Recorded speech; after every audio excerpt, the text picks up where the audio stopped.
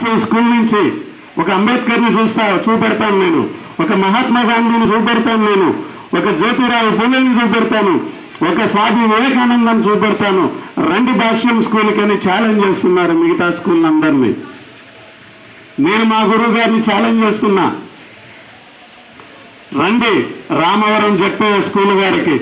మీరు ఒక్కొక్క స్కూల్లో ఒక్కొక్కరిలో ఒక్కరిని మాత్రమే మీరు చూపెట్టగలరేమో భాష్యం స్కూల్కి వెళితే పది మంది యొక్క స్వాతంత్ర ఫైటర్స్ ఫ్రీడమ్ ఫైటర్స్ వీళ్ళందరినీ అంబేద్కర్ గాంధీ అబ్దుల్ కలాం వీళ్ళందరినీ ఒక్కరిలో చూడాలంటే మా రామవరం చెప్పే స్కూల్కి రండి.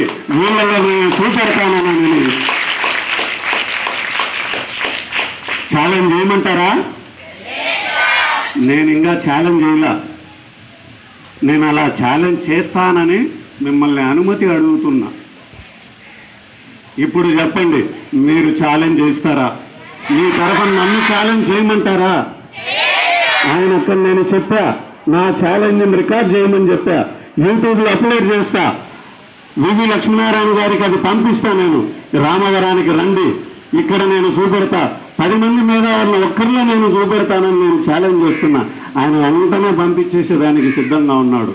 మరి మీరు నన్ను అడ్డంగా బుక్ చేసేస్తారా? లేకపోతే ఆ ఛాలెంజ్ని మీరు నిలుపుతారా? నిలుపుతారా? ఛాలెంజ్ గట్టిగా చెప్పండి. ఛాలెంజ్ చూద్దాం. ఈ యొక్క టెన్త్ క్లాస్ రిజల్ట్ ముప్పై ఏడు మంది ఉన్నారు సార్. మా యొక్క జడ్పై స్కూల్లో అన్నారు. మూడు ఏడు. మూడు ఏడు కలిపితే పది. సున్నా తీసేస్తే ఒక్కటి అంటే నెంబర్ వన్ సంకేతం ఈ బ్యాచ్కే వచ్చింది.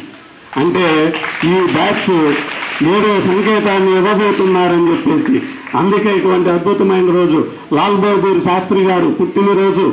మహాత్మా గాంధీ జయంతి రోజు. ఒకే రోజు ఇటువంటి విషయాల్ని డిస్కస్ చేసే అవకాశాన్ని కల్పించారంటే మీరు ఆ యొక్క నెంబర్ వన్ స్థానానికి చేరుకోబోతారన్న అన్నారని సంకేతం. ఇది ఒక సిగ్నల్. కనుక ఆ ముప్పై ఏడు అనేది చాలా గొప్ప ఫిగర్. ఈ ముప్పై ఏడుతో ఆ వన్ అనే స్థానాన్ని సాధించి రాష్ట్ర వ్యాప్తంగా కాదు దేశవ్యాప్తంగా ఇక్కడికి వచ్చి చూడాలి. ఈ యొక్క రామవరాన్ని చూడాలి. మేం బాగుండడం కాదు. అప్పలనాయుడు గారు బాగుండడం కాదు. ఎంఎస్ఎన్ గారు బా విద్యా సంస్థల అధినేత బాగుండడం కాదు.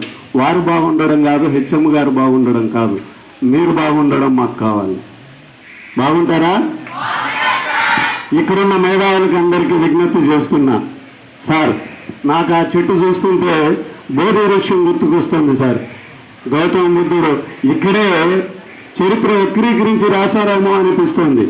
ఇక్కడే ఆయన ధ్యానం చేశారేమో అనిపిస్తుంది.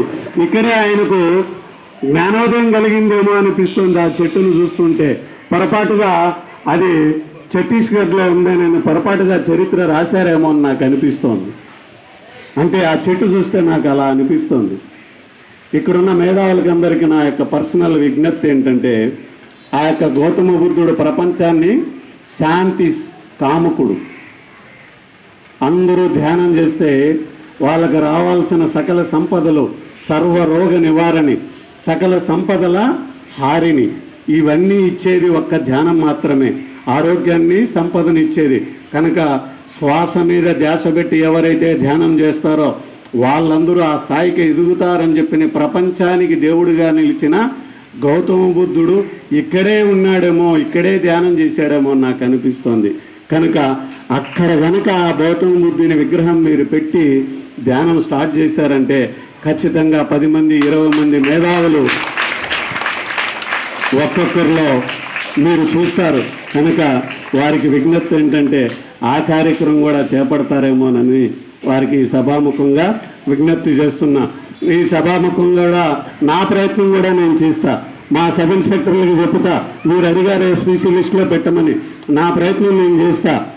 అట్లనే ఎక్కడ విద్యార్థులకి గ్రౌండ్ బాగుంటుందో అక్కడ భవిష్యత్తు బాగుంటుంది. గ్రౌండ్ బాగుంది కానీ పశువులు దాంట్లోకి రావడమే నాకు నచ్చలేదు. నేను చూసా ఆ పశువులు. దాని కనుక కొంచెం కంచె వేసి గ్రౌండ్ కొంచెం డెవలప్ చేసి మీరు అక్కడ పరుగులు తీయాలి. మీ యొక్క పాదాలు ఆ గ్రౌండ్ అంతా పరిగెట్టాలి. మీరు ఆరోగ్యంగా ఉండాలి. మీ చెమటను చిందించాలి. మీ చెమట వెళ్ళిపోయినే మీరు ఆరోగ్యంగా ఉంటారు. మీ శరీరంలో ఉన్న చెమట వెళితేనే మీ మెదడు చురుకుగా పనిచేస్తుంది. అది మీ మెదడు చురుకుగా పనిచేసే ఒక విద్యాలయం తర్వాత నెక్స్ట్ ప్లేస్ ఏదంటే గ్రౌండ్. అటువంటి గ్రౌండ్లో తిరగాల్సింది పశువులు కాదు విద్యార్థులు. కనుక అటువంటి పరిస్థితి కూడా మేధావులు కల్పిస్తారని నేను కూడా కృషి చేయడానికి ఆ కాంపౌండ్ వాళ్ళ గురించి ఆలోచిస్తాను. ఏదైనా అవకాశం ఉంటేనని మీకు మాటిస్తూ నాకు ఇంత గొప్ప అవకాశం ఇచ్చిన